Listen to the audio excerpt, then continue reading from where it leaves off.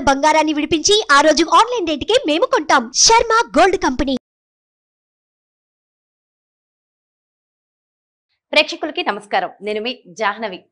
ఆధ్యాత్మిక పరంగా మనకున్నటువంటి సందేహాలను నివృత్తి చేస్తూ అటు జాతక పరంగాను ఇటు వాస్తు పరంగాను మనకున్నటువంటి దోషాలని నివృత్తి చేయడంలో ఎంతో చక్కటి సలహాలు సూచనలు అందిస్తున్నటువంటి బ్రహ్మశ్రీ నానాజీ పట్నాయక్ గురువు గారు ప్రస్తుతం మనతో ఉన్నారు. మాట్లాడేద్దాం. నమస్కారం గురుగారు శ్రీమాత్రయం అంటే ఉద్యోగం చేస్తున్న క్రమంలో ఖచ్చితంగా అచీవ్ అవ్వాలి మంచి సాధించాలని కొంతమంది చేస్తారు. ఏదో వెళ్తున్నాంలే జీతం వస్తుందిలే వచ్చేస్తున్నామని కొందరు చేస్తారు. ఏదేమైనా జీవితంలో సక్సెస్ అవ్వాలని అందరం అనుకుంటాం కదా.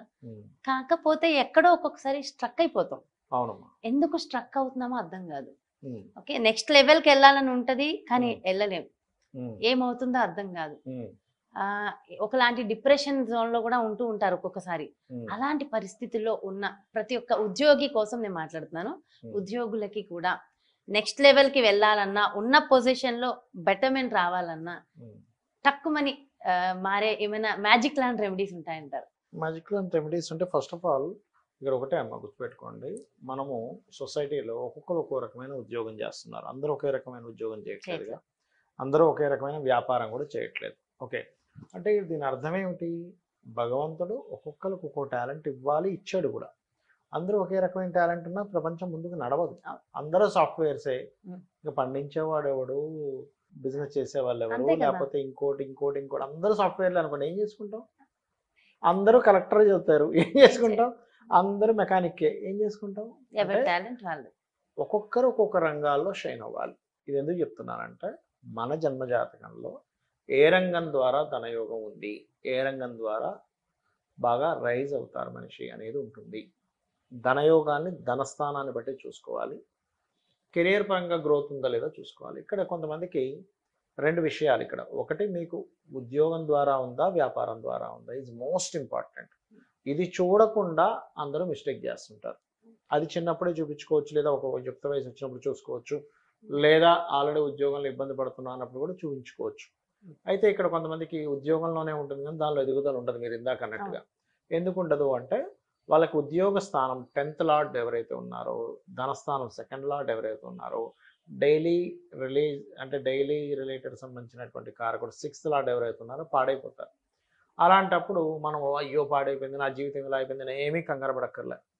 హ్యాపీగా ఓకే నేను హ్యాపీగా నేను అమ్మవారిని నమ్ముకొని నేను కనుక ముందుకు వెళ్ళినట్లయితే ఖచ్చితంగా ఉన్న స్థితిని అధిగమించి నేను ఒక టాప్ రేంజ్కి వెళ్తానని ఫస్ట్ మైండ్లో ఫిక్స్ అవ్వాలి. ఫిక్స్ అయ్యి మంత్రం ఏం చేసుకోవాలి అంటే కెరియర్ పరంగా బాగా గ్రోత్ రావాలి అనుకోండి. అది ఉద్యోగంలో సెటిల్ అవ్వలేదు అనుకోండి. వాళ్ళు రెండు చేసుకోవచ్చు. ఒకటి ఓం మాణిక్య మకుటాకార జానద్వయ విరాజితాయై నమ. లేదా ఓం శ్రీమాత శ్రీ మహారాజ్ని శ్రీమత్ సింహాసనేశ్వరే నమ. ఇది చేశారా ఖచ్చితంగా వాళ్ళ ఉద్యోగ సంబంధించిన విషయంలో ఒక మంచి రేంజ్కి వెళ్ళడం నేను కొన్ని వేల మందికి చూశాను. వాళ్ళకి కలిగింది. జరిగిన విషయం జరిగిన విషయం నేను చెప్తున్నా. ఇన్ని సంవత్సరాలు నా ఎక్స్పీరియన్స్లో ఏమంటే ఈ మంత్రం చేసుకోండి. కూర్చొని చక్కగా అరగంట సేపు నలభై నిమిషాలు స్పెండ్ చేయలేమా టైం మనం ఉద్యోగం ఎలాగో లేదు ఖాళీగానే ఉన్నాగా. చేసుకోవచ్చు. ఉద్యోగంలో బిజీ ఉంటే అక్కర్లేదు ఇది. నలభై నిమిషాలు స్పెండ్ చేయలేడం మనిషి ఇరవై నాలుగు గంటలు హ్యాపీగా చేయగలదు అయితే ఇది ఏంటంటే కంటిన్యూస్గా చేయాలంట ఎన్ని రోజులు చేయాలంటారు? రోజు ఒక మూడు నెలలు నాలుగు నెలలు అంతే అంతట్లో వచ్చేస్తుంది. నేను అనేది ఏంటంటే అమ్మ సింపుల్. చాలా మంది చేసే మిస్టేక్ ఏంటంటే అన్నిట్లో ప్రాక్టికల్గా ఉంటారు ఇక్కడికి వచ్చేసరికి నిమిషంలో అయిపోవాలి పని అనుకుంటారు కదా నేను అన్నట్టు మ్యాజిక్ మ్యాజిక్ లాగా మ్యాజిక్. లాగా ఫస్ట్. అడిగాను. అడిగారు కదా మీరు. అంటే చూడండి ఒక వ్యక్తి ఒక మంచి సాఫ్ట్వేర్ ఇంజనీర్ అవ్వాలంటే బీటెక్ చదవాలి బీటెక్ ఒక రోజులో చదివితే వచ్చేస్తుంది ఒక నిమిషం చదివితే వచ్చేస్తుంది తెలుసు వెరీ క్లియర్ ఇన్ని సంవత్సరాలు కోర్సు రోజుకి ఇన్ని- ఇన్ని గంటలు నేను చదవాలి ఒక కలెక్టర్ అవ్వాలనుకుంటున్నాం లేదా ఒక మంచి గవర్నమెంట్ ఎంప్లాయ్ అవ్వాలనుకుంటున్నాం అప్పుడు ఏం చేస్తాడు ఇన్ని గంటలు నేను చదివితే కానీ నాకు ఇది సక్సెస్ అవ్వలేను ఇంత ర్యాంక్ కొట్టలేను అని ఒక ప్రాక్టికల్ నాలెడ్జ్ ఉంటుందిగా ప్రాక్టికల్గా ఆలోచిస్తున్నాగా. భగవత్ సంబంధించిన ఎనర్జీ మీకు రావాలన్నా రోజు కనీసం నలభై నిమిషాలు మీరు ఒక మంత్రం పట్టుకొని సాధన చేస్తే మీ పాస్ట్ లైఫ్ కర్మను దగ్ధం చేస్తుంది. అయితే ఇక్కడ విషయం ఏంటంటే మీకు అసలు ఏ యోగం ఉంది? ఉద్యోగమా వ్యాపారమా? ఆ వ్యాపారం కూడా నార్మల్ వ్యాపారమా సర్వీస్ రిలేటెడ్? అంటే ప్రోడక్టా సర్వీస్ రిలేటెడా? Is most important. ఇది ఎలా డిసైడ్ అవుతుంది? మీ జన్మజాతకంలో శని భగవానుడు ఎలా ఉన్నాడు? దశమాధిపతి ఎలా ఉన్నాడు? ఒక్కొక్కసారి కొంతమందికి ఎలా ఉంటుందంటే రెండు రెండు బిజినెస్ జాబులు చేసే యోగం ఉంటుంది. పార్ట్ టైమ్స్ పొద్దున్న నుంచి మధ్యాహ్నం వరకు ఓ జాబు మధ్యాహ్నం నుంచి సాయంత్రం వరకు ఇంకో జాబ్. వాళ్ళకి డియోల్ అది యోగాలు. డియోల్ ఉద్యోగ యోగాలు రెండు రెండు పార్ట్ టైం జాబ్స్ యోగాలు ఉంటాయి. అలాంటి వాళ్ళు పర్మనెంట్ ఒక జాబ్లో చేద్దామని వాళ్ళంతా ట్రై చేస్తున్నది రాదు అది. ఇది రాదు. ఎలా అంటే మీకు ఎగ్జాంపుల్ నా నా కాలు సైజు నైన్ నెంబరు నేను సెవెన్ నెంబర్ బూట్ వేసుకుందామంటే సెట్ అవుతుందా? అవదుగా షూ ఎక్కడ సెట్ అవుతుంది? దాన్ని పిసికేసి దాన్ని చింపేసి ఎలా పెట్టుకుంటాం? కాదు. ఇంకా మన కాలికి ఇంకా ఇబ్బంది. అలాగే నేను అనేది ఏంటంటే ఫస్ట్ ఆఫ్ ఆల్ మీకు అసలు యోగం ఏముంది? కొంతమందికి మాటి మాటికి మారే యోగం ఉంటుంది. చర్రాసుల సంబంధం వస్తుంది. అంటే మీరు ఒకే దగ్గర కాకుండా ఆల్వేస్ సిక్స్ మంత్స్కి వన్ వన్ ఇయర్కి ఒకసారి చేంజ్ అవ్వాల్సి వస్తుంది. అలాంటప్పుడు మీరు అర్థం చేసుకొని దాని పరంగా చేంజ్ అవుతూ డెవలప్ అవుతారు. మరి కొంతమందికి వాళ్ళ లైఫ్లో ఉద్యోగ సంబంధించిన విషయంలో కొన్ని సంఘటనల తర్వాత మార్పులు వస్తాయి. అంటే ఎలాగా వివాహం చేసుకున్న తర్వాత. ఒకతను హై ర్యాంక్లో ఐఏఎస్ ఆఫీసర్ రేంజ్లో ఉన్న ఒక వ్యక్తి. అతనికి అతను ట్రైనింగ్స్ ఇస్తూ ఉండేవారు. కానీ ఐఏఎస్ అతనికి ఏం ఉద్యోగం లేదు. లేనప్పుడు అందులోనే ఐఏఎస్ ట్రైనింగ్స్ ఇచ్చే వాళ్ళలోనే ఒక ఆవిడ ఇతనికి ట్రైనింగ్ ఇచ్చే అతనికి ప్రపోజ్ చేసింది. నాకే ఉద్యోగం లేదు నేను మీకు ఇంకేం చేసుకుంటాను. అప్పటికి ఆమె ఆల్రెడీ ఆల్రెడీ ఇంకా రేంజ్ చేరుకునేది ఇంట్లో ఉంది. అంతట్లో ఆమె అయిపోయింది కూడా. అప్పుడు మళ్ళీ ఇంకోసారి వచ్చి ప్రపోజ్ చేసి నాకే లేదు ఏంటని అన్- అన్నాడు. అన్నప్పుడు ఆ జాతకాన్ని నేను చూశాను ఈ జాతకుడికి వివాహం అయితే ఒక మంచి రేంజ్లోకి వెళ్తాడు. ఏం కాదని మీరు వివాహం చేసుకోండి నా మాట విని అన్నప్పుడు. చేసుకున్న తర్వాత ఈయన కూడా ఒక మంచి ఆఫీసర్లో Position ఇదయ్యారు లో అంటే కొంతమందికి ఎలా ఉంటుందంటే వివాహం ద్వారా మారే ఉంటాయి. చాలా మంది వివాహం తర్వాత మారే ఉంటాయి మారే. ఉంటాయి. ఇంకో కేసులో వివాహం చేసుకున్నాడు ఉద్యోగం లేదు. ఆ పెద్దగా ఏదో చిన్నవి చేసుకుంటూ ఉండేవాడు. వాళ్ళ ఇంట్లో వాళ్ళు అరే నువ్వు పిల్లల్ని గాను పిల్లల్ని గాను అని అంటా ఉంటే అతనికి ఏంటంటే నేనే సరిగా బతకలేకపోతే నేను పిల్లల్ని ఎక్కడ గాను అనే ఫీలింగ్ భయం ఉంటుంది కదమ్మా. ఎంతైనా కూడా అయ్యో మనమే సరిగా ఇది ఇవ్వలేకపోతున్నాము సర్వే అవ్వలేకపోతున్నాము మళ్ళీ పిల్లల్ని పోషించడానికి మళ్ళీ వాళ్ళకి ఇబ్బంది పెడతామేమో అని తల్లికి తండ్రికి ఉంటుంది. అది ఉండ- ఉండాలి కూడా. అన్నప్పుడు ఆ కేసు నేను చూసినప్పుడు నేను ఏమనంటే అయ్యా నీకు సంతానం కలిగిన నుంచి బాగా తిరుగుతుంది నీకు లైఫ్ అన్నా. అంటే ఏమో సార్ అంటే భయం ఉంటుంది కదా అంతే కదా ఎలా ఏం ఇంకా. నువ్వు అమ్మవారిని నమ్ముకొని నువ్వు మీ ఇంట్లో వాళ్ళు కాల్ చేస్తున్నా ఏం టెన్షన్ పడకు.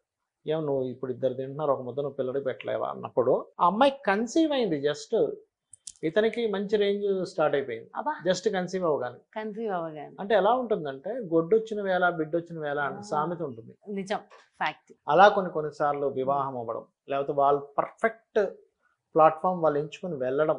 లేదా ఒకసారి సంతానం కలగడం ఒక్కొక్కసారి కొన్ని మంత్ర సాధన చేయడం ద్వారా అమ్మవారిని నమ్ముకొని పలానా నామం చేసుకోవడం ఇట్లా ఉంటుంది. అయితే కొంతమందికి జాబ్ కాకుండా బిజినెస్ ఉంటుంది ఇది తెలుసుకోవాలి. స్వేచ్ఛా యోగాలు ఉన్నాయా బిజినెస్ ఇదంతా కూడా మన జాతక పరిశీలన హండ్రెడ్ పర్సెంట్ ఉంటుంది హండ్రెడ్ పర్సెంట్ ఉంటుంది. అరే ఒక అంటే మీకు చిన్న ఎగ్జాంపుల్ చూపిస్తాను మీకు. అంటే ఒక జాతకం తీసుకొని. ఒక ఇద్దరు ఇప్పుడు మొన్న అంటే అన్నీ ఉంటాయని ఎందుకు చెప్తున్నానంటే ఒక మొన్న ఒక జాతకం చెప్పుకున్నాం. అంటే జస్ట్ మీకు మీకు అర్థం అవడానికి కూడా ఇది నేను పంపిస్తాను మీకు వినిపిస్తాను ఇది. ఒక నిమిషంలో అంటే మీకు ఇది ఎందుకు చెప్తున్నానంటే ఒక నిమిషం తేడాలో ట్విన్స్ పుడితే వాళ్ళ దీంట్లో కూడా తేడా ఎలా ఉంటుంది జాతకంలో కూడా తేడా ఉంటుంది అనడానికి. నేను మీకు ఇది వినిపిస్తాను చూడండి. ఇద్దరికి అమ్మా ఇద్దరు ట్విన్స్ కదమ్మా వీళ్ళు. ఇద్దరు ట్విన్స్లో ఒకే నిమిషం తేడా ఇద్దరికి. ఇద్దరికి ఒకే నిమిషం తేడా అయినప్పుడు ఈ పదకొండు గంటలు ఒక నిమిషంలో పుట్టిన వ్యక్తి ఒక అబ్బాయి తమ్ముడేమో పదకొండు గంటలు రెండు నిమిషాల్లో పుట్టాడు కదా?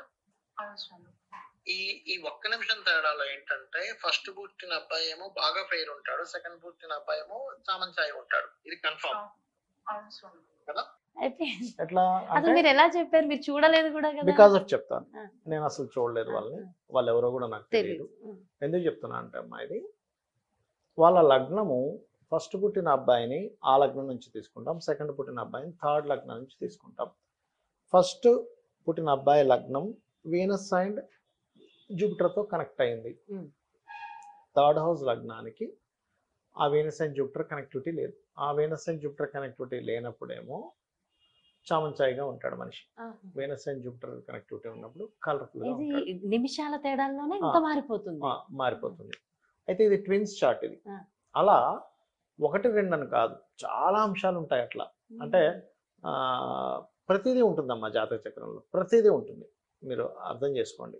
ఎందుకు అంటే ఈ విషయం నేను మీకు ఎందుకు చెప్తున్నా అంటే ఈ జ్యో జ్యోతిష్శాస్త్రం అనేటువంటి మహర్షులు మిమ్మల్ని ఏదో భయపెట్టడానికో మీరు బాధపడడానికో అమ్మో నా జాతకం ఇలా- ఉందని తెలుసుకోవడానికి కాదమ్మా ఇచ్చింది. మనకి దిక్కు తోచట్లేదు. నేను ఇప్పుడు ఉద్యోగంలో నేను రాణించట్లేదు. ఎందుకు రాణించట్లేదు? ఓకే నాకు వ్యాపారం ఉందా.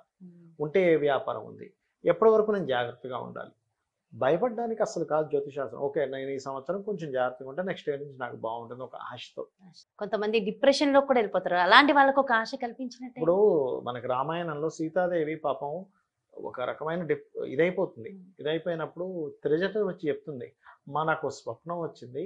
ఆ స్వప్నంలో దక్షిణం వైపు కూర్చోబెట్టి దున్నపోతు మీద రావణాసుని తీసుకెళ్తున్నట్టు వచ్చింది నాకు కళ.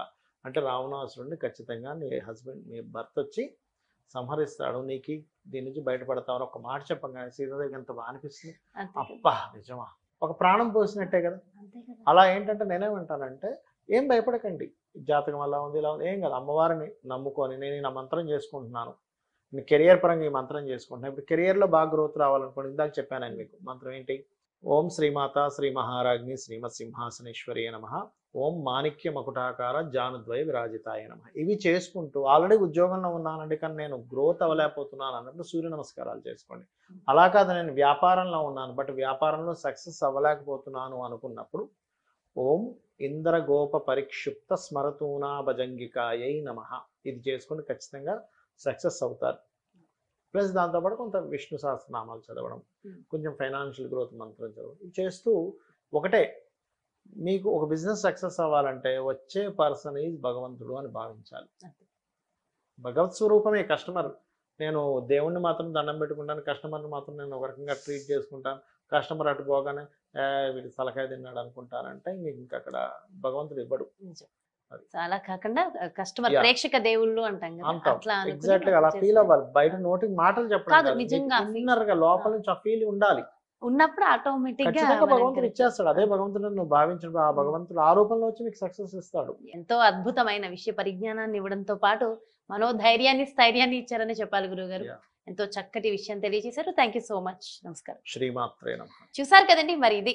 ఉద్యోగం లేదనో ఉద్యోగం ఉన్న ఎదుగుదల లేదనో లేదంటే ఏంటి జీవితం ఇలా అయిపోయిందనో అనుకునే ప్రతి ఒక్కళ్ళకి చక్కటి రెమెడీస్ పరిష్కార మార్గాన్ని ఎంతో చక్కగా ఎక్స్ప్లెయిన్ చేశారు కదా!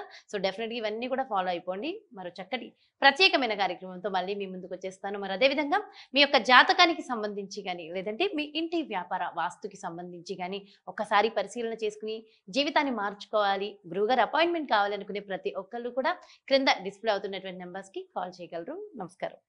సుమన్ టీవీలో మీ పర్సనల్ అండ్ బిజినెస్ ప్రమోషన్స్ కోసం కింది నెంబర్కి కాంటాక్ట్ చేయండి.